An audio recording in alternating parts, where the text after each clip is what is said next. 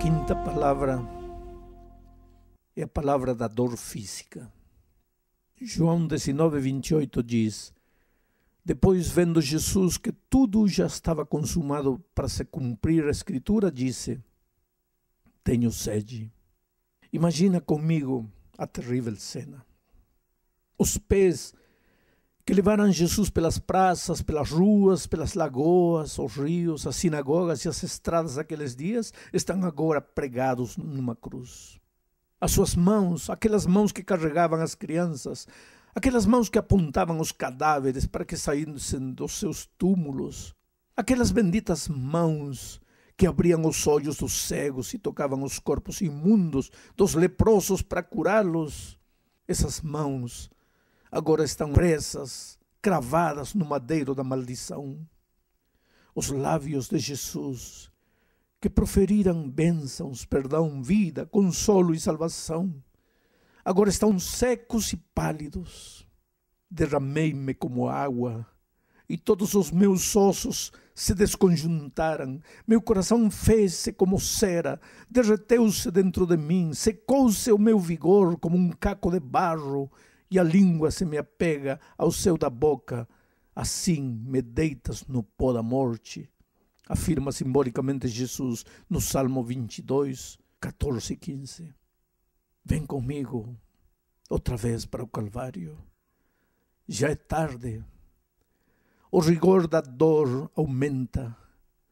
Os cravos da coroa de espinhos e a falta de ar nos pulmões o castigam impiedosamente.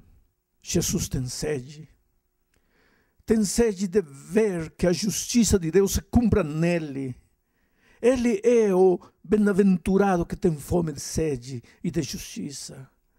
A justiça divina cai sobre ele para que ele possa ser a nossa justiça. Seca está de sede sua língua, mas eu, o Senhor, os ouvirei eu, ó Deus de Israel, não os desampararei. Abrirei rios nos altos desnudos e fontes no meio dos vales. Tornarei o deserto em açudes de água e a terra seca em mananciais. Plantarei no deserto cedro, acácia, murta, oliveira, conjuntamente porei no ermo, o cipreste, o olmeiro e o bucho, para que todos vejam e saibam, considerem e juntamente entendam que a mão do Senhor fez isso e o Santo de Israel o criou, diz Isaías 41, 17 ao 20. Lembre-se que Jesus teve sede, é plenamente homem, teve sede por todos nós teve sede de ser o instrumento de reconciliação de Deus conosco, a sede que nós não tivemos por causa da sequidão de nossos pecados. Jesus carregou tudo sobre si e teve sede. E então pode entender quando você, às vezes por andar nos seus próprios caminhos, experimenta fome, sede, frio, e não sabe o que fazer, e não sabe para onde ir Aquele Jesus que se fez homem e teve sede e se cansou e teve fome, ele pode entender você. Então abra seu coração e volte os olhos para Jesus.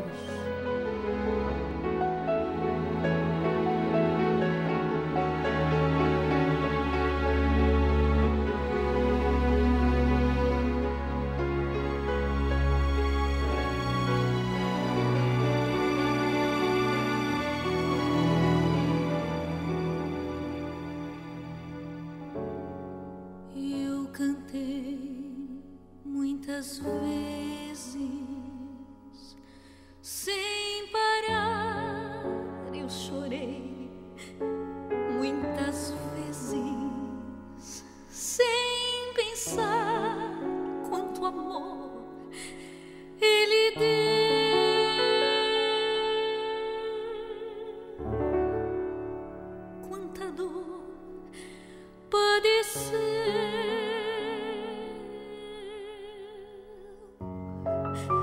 pelo mundo das trevas.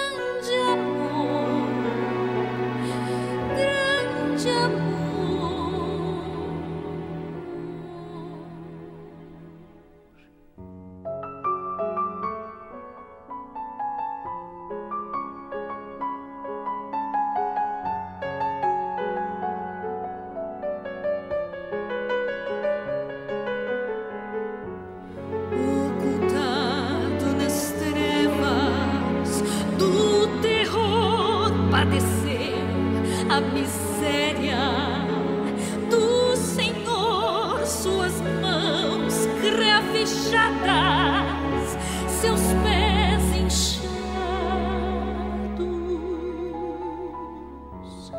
Em seu peito ofegante, grande dor ao olhar para o mundo.